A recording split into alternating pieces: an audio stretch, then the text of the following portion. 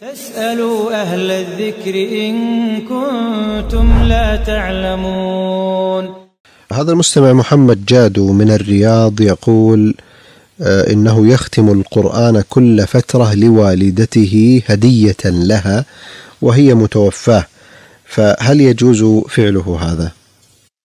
مسألة إهداء الثواب كمن قرأ القرآن أو ذكر الله جل وعلا أو فعل عبادة من العبادات وأهدى ثوابها لمن شاء من حي أو ميت كوالديه مثلا فإنه يصل عند جمهور أهل العلم. ومن العلماء من يخص ذلك بما ورد وثبت كالصدقة والدعاء والحج والعمرة وما ثبتت به الأدلة وما عدا ذلك يبقى على المنع. حتى يريد دليل آه، يجيزه.